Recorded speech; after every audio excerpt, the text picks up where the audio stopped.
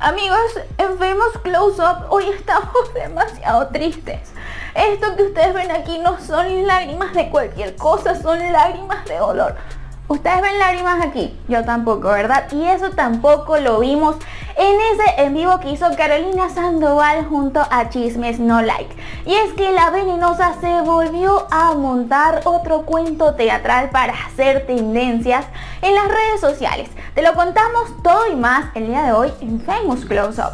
Hola, ¿qué tal amigos? Bienvenidos una vez más a Famous Close Up. El día de hoy te digo, aquí en Famous Close Up no creemos en lágrimas de cocodrilo y mucho menos en esos cuentos que se trae Carolina Sandoval. Carolina Sandoval pues ha sido tendencia desde su salida de Telemundo, pero aparentemente su engagement, su interacción ha venido cayendo en picada y ella no conoce de otras opciones para subir este rating a través de sus plataformas digitales que no sea pues exponiéndose de una forma bastante controversial y bastante inmediata madura. A través de Chismes No Like, pues Javier y Elisa se han encargado pues de mostrar absolutamente todo cómo ha sido esta transición de la venenosa Sandoval desde su salida.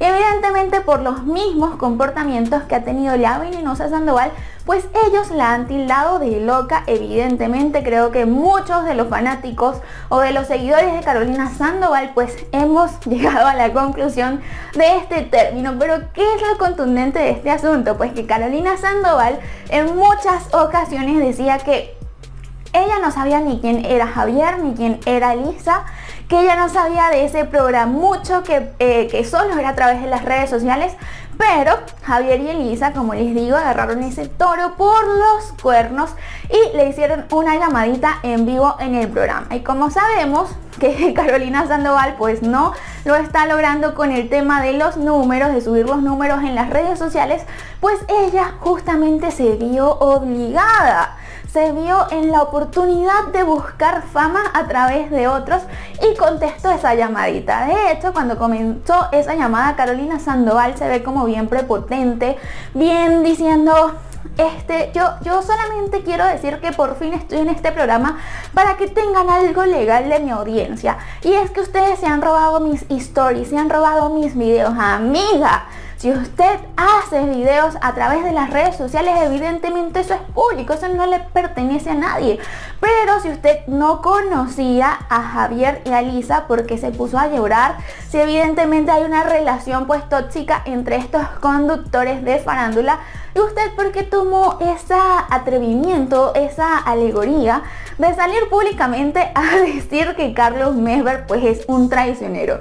Y es que Carlos Mesver pues sabemos que es el compadre directo de Carolina Sandoval y también pues fue su productor y su amigo durante los 7 años que Carolina Sandoval estuvo dentro del programa de Telemundo.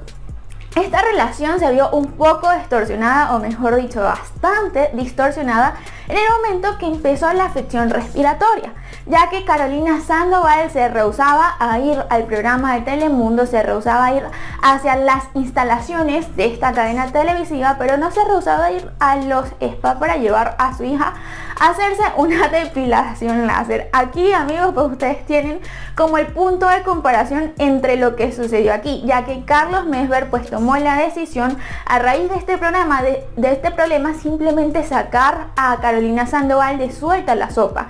De hecho, Carolina Sandoval dijo abiertamente y con lágrimas de cocodrilos en los ojos que Carlos Mesver era un traicionero, que Carlos Mesver pensó que era su amigo, pero que él en verdad le había golpeado por la espalda, que él confió en, que ella confió en él y que él simplemente la traicionó. Recordemos que Carolina Sandoval, pues hace algunas semanas ella nos comentó que cuando comenzó toda la afección respiratoria ella no estaba muy confiada sobre las instalaciones de Telemundo ya que la misma directiva no estaba tomando la no estaba tomando las medidas correctas para cuidar a sus trabajadores. Y de hecho ella se rehusó a ir porque tenía a su madre mayor de edad eh, en su casa. Pues esta señora ya cuenta con más de 60 años. También a su hija pequeña que cuenta con asma Y pues evidentemente ella se creía o creía que estaba muy expuesta y esta fue la verdadera razón de la salida de Carolina Sandoval de Telemundo porque ella se rehusó a ir nuevamente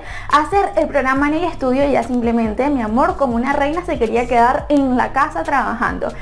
Evidentemente esto le disgustó a muchas personas ya que los panelistas de Suelta la Sopa son cuatro y aquí estaba sobrando Carolina Sandoval o mejor dicho estaba faltando Carolina Sandoval y Carlos Mesver pues fue quien a través de un mensaje de texto le dijo a Carolina Sandoval que estaba fuera.